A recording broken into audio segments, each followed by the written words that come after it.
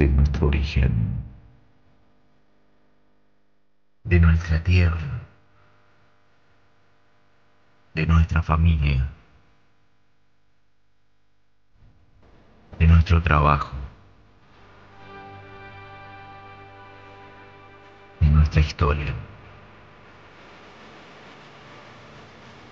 De que nos elijas como hace 50 años.